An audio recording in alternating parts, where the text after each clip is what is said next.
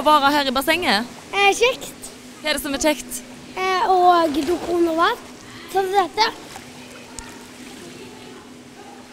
Etter snart ei uke på svømmekurs er Martin Nikolai blitt trygg i vann.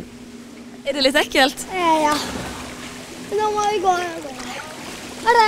Trygghet i vann er det viktigste. Eh, Å bli eh, trygge, lære seg, så skal du lære deg å flyte, lære deg å dykke.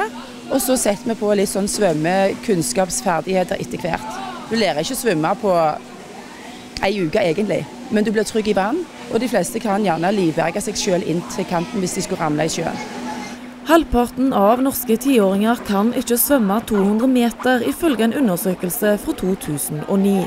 Og dette skaper stor bekymring. Det er jo ganske stor drukningsprosent i Norge bl.a. Og nå når vi òg har fått mange, mange fra andre land som kom til oss, og de, veldig mange av de kan ikke svømme. Så det er òg et problem. For Svømmeopplæringen i skolene er for dårlig. Det er for lite svømmehaller. Det blir ikke prioritert eh, nok ressurser til at eh, skolene eh, prioriterer dette her i forhold til opplæringen. For tredje gang blir en landsomfattende svømmeaksjon organisert. Det betyr at tusenvis av barn nå får muligheten til å lære å svømme. Madla svømmeklubb har hatt rundt 300 barn på kurs de siste ukene.